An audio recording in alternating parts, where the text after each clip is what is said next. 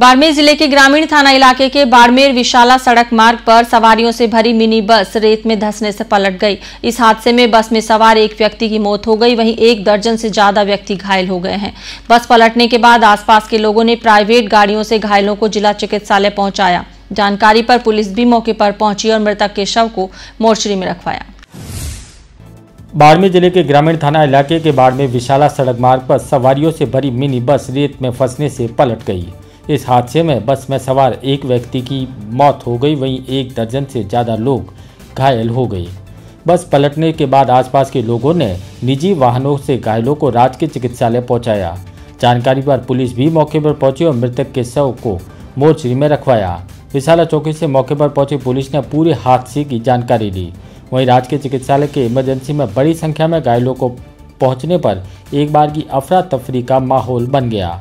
Police के अनुसार बाड़मेर से जाने वाली बस सोमवार को सुबह विशाला से सवारियाँ लेकर रवाना हुई थी। इस दौरान त्रिसंगड़ी गाँव के पास सवारियों से भरी मिनी बस सड़क किनारे रेत में धंसने से बेकाबू होकर पलट गई। दो सौ बीस आदमी था ऊपर नीचे भरोड़ी थी। ये फ़ोन बात कर दो तो लापरवाही में बस फिर गई। बस के दुखे था? दीदी बेसाड़ा में बाढ़ में? अच्छा पर पलटी कित खादी पलटे ये किरेसर में और हमारा का त्रिसिंगड़ी मागे। वहाँ ले गुण आयो? सने एंबुलेंस आई कोनी पाछे एंबुलेंस आई जाली पे अरसानी फाटो कोटी एंबुलेंस आई में आया मैं गाड़ी भरोड़ा कौन कौन था मजदूर था को सेठ से मजदूर था सेंग साले वहाँ रही थी पलटी खा रही ऊपर नीचे फुल भर रही थी टैंप का आवाज़ फुल था इसलिए उसकी बहुत घमडाई से चला रहा था गोला में टन गाड़ी दे दी हिंदू सिंह धर्मपाल सिंह रोज कितना जना भरोड़ा आया था वो गाड़ी उनमें सत्तर अस्सी आदमी ऊपर ऊपर नीचे आज कितना जना लगी कितना जना लगी कित कित लगी है बहुत लगी है आज मिनी बस सवारियों से खचाखच भरी हुई थी। जानकारी मिलने पर विशाला चौकी पुलिस मौके पर पहुँची और एंबुलेंस को सूचना दी। वहीं प्राइवेट गाड़ी और एंबुलेंस से घायलों को हॉस्पिटल भेजा गया। बस में सवार सवारियों का कहना है कि मिनी बस नीचे से ऊपर तक दोनों जगह सवारियों से पूरी भरी हुई थी।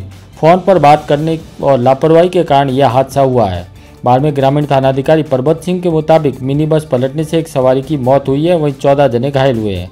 घायलों को जिला चिकित्सालय में इलाज चल रहा है। बस में दो दर्जन से ज़्यादा सवारियाँ थी, उनमें चौदह सवारियाँ घायल हो गई। वहीं हॉस्पिटल में सुलेमान खान उम्र पचपन वर्ष, पुत्र कल्लू खान निवासी तिरसंगड़ी बोला ने दम तोड़ दिया।